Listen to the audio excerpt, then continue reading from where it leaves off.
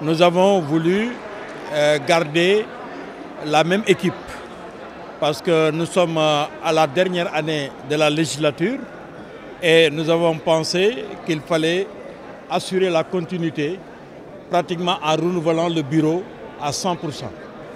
Je peux d'ailleurs vous dire que dans le cadre des commissions, des bureaux de commissions, c'est cette même discipline qui va être observée. Nous n'allons pas apporter des changements majeurs.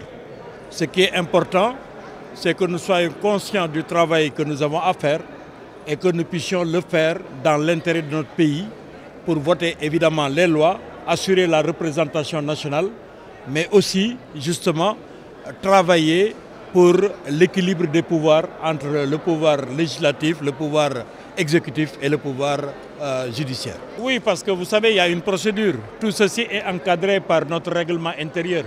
Vous savez que euh, la levée de l'unité parlementaire euh, respecte une certaine procédure. Ce que le président a dit tout à l'heure, je crois que vous l'avez entendu, c'est qu'il y a une réunion de bureau qui est convoquée lundi.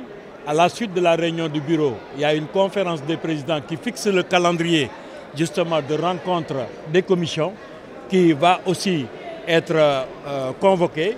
Et à l'issue de cette conférence des présidents, nous allons mettre sur pied justement la commission ad hoc qui se chargera justement d'étudier la levée de l'unité parlementaire telle que demandée par le garde des Sceaux à travers la procédure interne.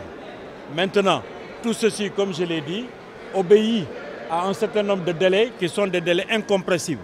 Mais je pense que nous allons travailler sur ce dossier très rapidement et que la plénière va se réunir pour se prononcer sur la levée ou non de la levée de l'unité parlementaire des députés qui sont cités.